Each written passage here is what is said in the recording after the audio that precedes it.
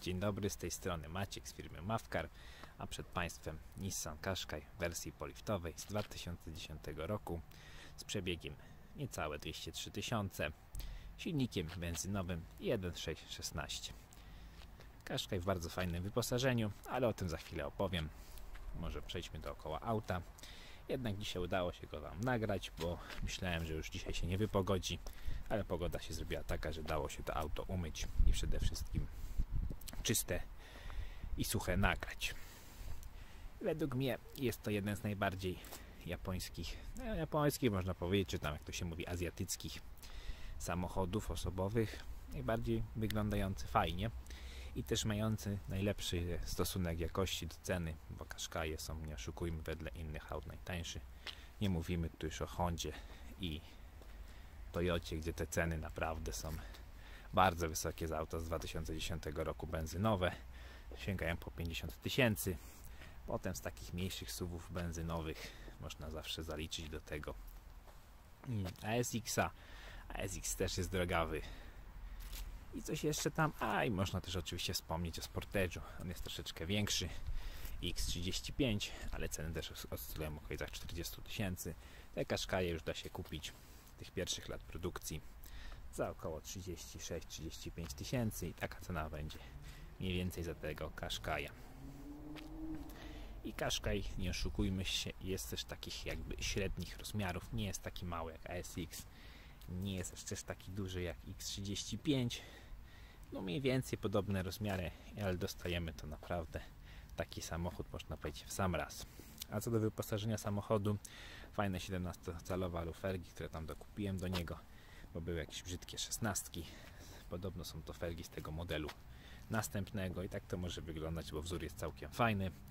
Mamy automatyczne składane lusterka, mamy również czujnik światła, czujnik zmierzchu, światła przeciwdzielne, dach panorama.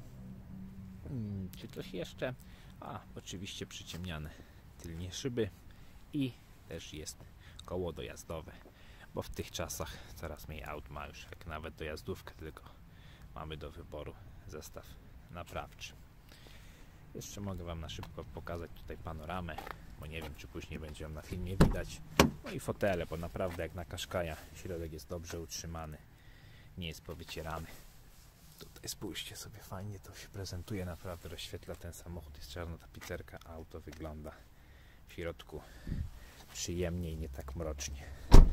Do stanu technicznego, o serwisach Wam opowiem w samochodzie. W sumie już opowiedziałem, bo już to nagrałem, ale widać tutaj ma świeżutkie tarcze. Opony też są przyjemne. I koła są przy okazji też z czynnikami, więc jak ktoś kiedyś będzie potrzebował, może sobie je zaprogramować. Myślę, że to na razie tyle. Hej! Tutaj mamy pomiar lakieru. Później ten film przyspieszę, żeby po prostu nie tracić czasu na zbędne oglądanie.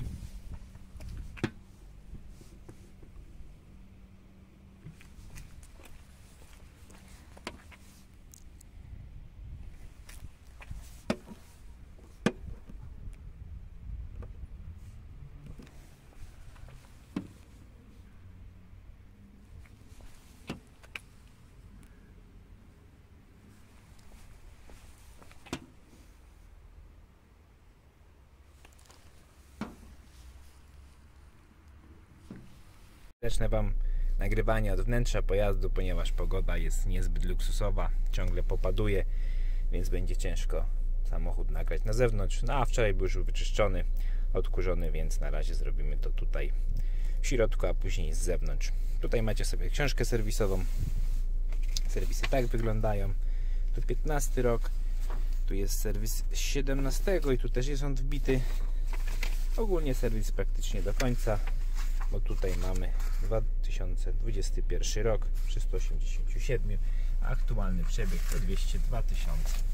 Ok, na razie to sobie odłożymy i będę Wam pokazywał auto dalej.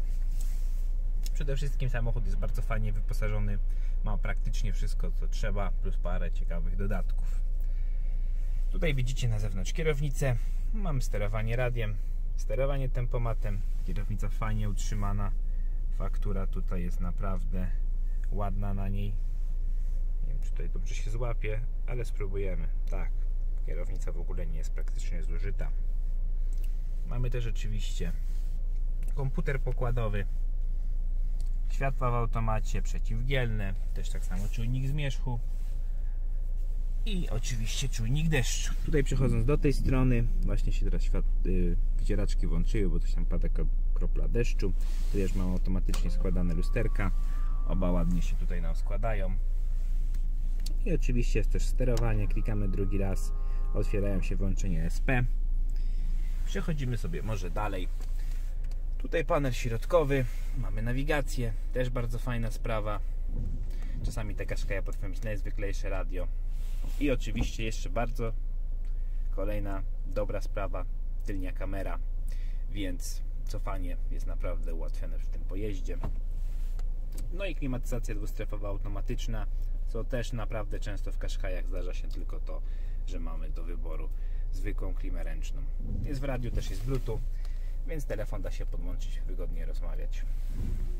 Tutaj mamy przycisk od centralnego zamka, lewarek zmiany biegów, podłokietnik, podłokietnik naprawdę fajnie wygląda i kolejna rzecz, którą bardzo lubię, dach panoramiczny. Tutaj jest jego zamykanie. Klikamy sobie raz i powinien się chyba zamknąć cały albo do połowy. Niektóre miały taką opcję, ale ten się zamyka cały. Ładnie to wygląda. Naprawdę rozświetla pojazd. Teraz od razu zobaczcie jak zrobiło się ciemniej. Z tyłu mamy Isofix, no i mamy te lepsze fotele z takim jakby materiałem delikatnie można powiedzieć, to jest taki jakby inna faktura takiego weluru czy czegoś. Ale siedzi się na nich lepiej na tych takich typowo materiałowych stołkach. No i ogólnie co do jakości, no Kaszka jakiś nie był przecudny z tej jakości. Miał ten sam problem, tak jak widzicie, z łuszczącymi się plastikami. Tutaj naprawdę, jak na ten przebieg, jest to ładnie, to delikatnie, tylko widać delikatne tutaj zużycie na tych boczkach. Ale naprawdę Kaszkaja potrafią mieć 100 tysięcy i być już przetarte. Spójrzcie sobie też na mój fotel. Też naprawdę jest ładny. Tu nie ma grama przetarcia, tu nic nie jest rozwalone. Tak samo i tutaj. Środku fajnie ktoś go utrzymał. Coś jeszcze mógł dodać. No tutaj mamy komputer pokładowy. Fajnie też pokazuje spalanie, bo naprawdę 6,7 litra na benzynę 1,6 to według mnie nie jest dużo. Myślę, że każdy będzie mógł sobie tym autem założyć też gaz i jeszcze taniej jeździć. Cóż, to by było na tyle. Jeżeli interesuje Was to auto, zostawcie lajka pod filmem, zasubskrybujcie kanał. Możecie też odwiedzić moją stronę Mawka Rotomoto, jeżeli szukacie innego pojazdu, a znaleźliście ten film gdzieś w necie lub też mojego Instagrama Mawkar Auta. Pamiętajcie, u mnie każde auto jest możliwość do niego dokupienia gwarancji do roku czasu. Każdy jest, że tak powiem, opłacony i do każdego jest wystawiona faktura VAT, marża lub VAT, więc kupujący nie ponosi dodatkowych kosztów. No i oczywiście, jeżeli nie macie jak tego auto dostarczyć do domu, w rozsądnych pieniądzach mogę Wam go dowieść na lawecie. Pozdrawiam, hej!